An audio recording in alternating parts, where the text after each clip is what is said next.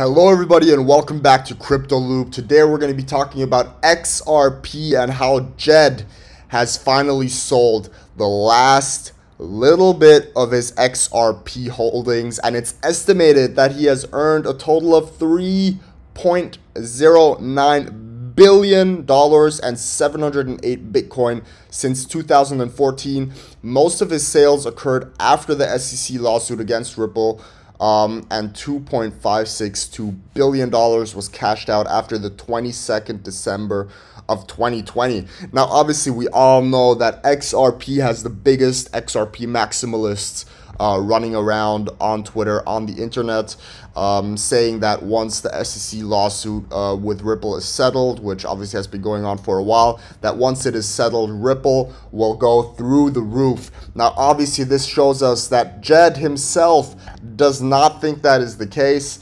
Um, here we can see all of his transactions leading up to that. Um, sales and this is a very very beautiful chart. Shout out to leo had uh, sorry for butchering that again. Um, but very nice chart right here. The sales before the sec lawsuit against ripple. You can see he didn't sell much. He sold a little bit right? He started selling some started selling. Lawsuit hit.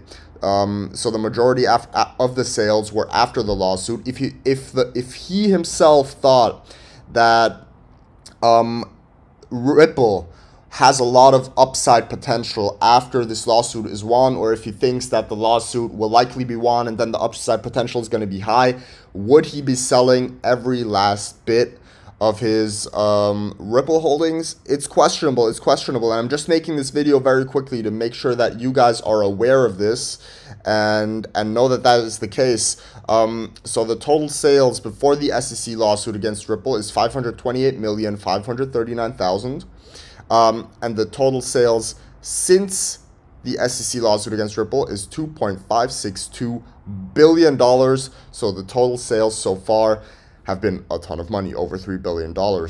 Um, and that is a whopping amount. That is a whopping amount. Um, and it's going to be exciting to see if Ripple ever does recover in the future, if um, they are going to beat the SEC lawsuit, if they're going to go up in price. I don't know what your guys' thoughts are. You can comment down below. But this, for me, is a sign that maybe you shouldn't be having blind trust in XRP at this point in time because the founder himself is all out. He is all out. He owns no more XRP he has given up on the vision of XRP. If he thought that XRP was going to go to a $1,000, like a lot of people are posting on Twitter, he would not have sold everything. So let me know your thoughts down below. Thank you for watching this video. If you're new here, please subscribe to Crypto Loop, smash the thumbs up button, and I hope you have a wonderful day. Talk to you guys soon. Bye-bye.